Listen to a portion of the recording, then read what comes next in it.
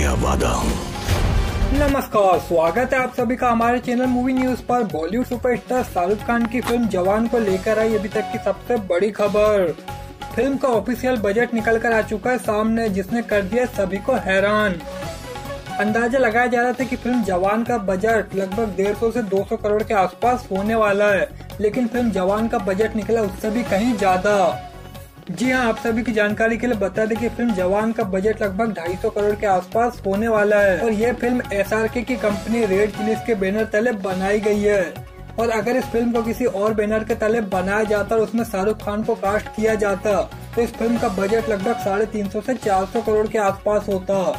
जैसा कि आप सभी जानते हैं कि फ़िल्म जवान का म्यूज़िक साउथ के one of the best music director Anirudh ने दिया है, जिन्होंने इस फ़िल्म के लिए काफ़ी ज़्यादा चार्ज किया। जी हाँ दोस्तों, आप सभी को बता दें कि म्यूज़िक डायरेक्टर अनिरुद्ध ने इस फ़िल्म के लिए लगभग 10 करोड़ में अपने म्यूज़िक दिया है। अगर बात करें फ़िल्म जवान की रिकवरी के बारे में तो ये फ़िल्म अपने सैटेलाइट राइट्स ओटीटी राइट्स से पहले ही अपना बजट निकाल चुकी है।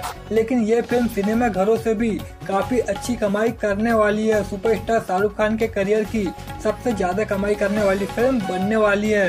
तो आप सभी को क्या लगता है फ़िल्म जवान अपने लाइफ टाइम में कितना कलेक्शन कर सकती है? आप सभी की राय में कमेंट करके ज़रूर बताइए और ऐसी अपडेटेड न्यूज़ के लिए सब्सक्राइब कीजिए हमारे चैनल मूवी न्यूज़ को।